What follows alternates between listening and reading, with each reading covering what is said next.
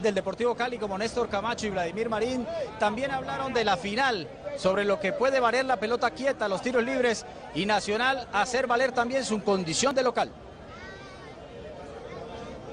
El Deportivo Cali ya está en Medellín. Los jugadores del equipo del Valle creen que el partido será igual en el planteamiento para ellos, pero diferente para Nacional. Yo creo que están más, van, a, van a estar más obligados en, en salir a proponer porque son locales, así que bueno, yo creo que va a ser un partido muy disputado en los primeros minutos.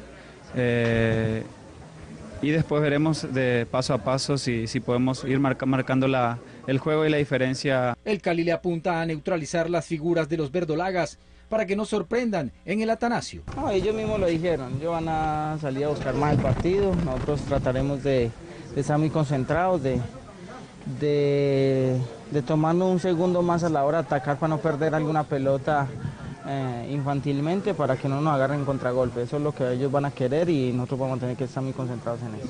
Dentro de las novedades, la presencia de Lucas Escaglia en la formación titular es lo más importante del Cali. Como dato, Mondragón y Marín no saben lo que es dar la vuelta olímpica en Colombia. Buscarán hacer historia en el Atanasio.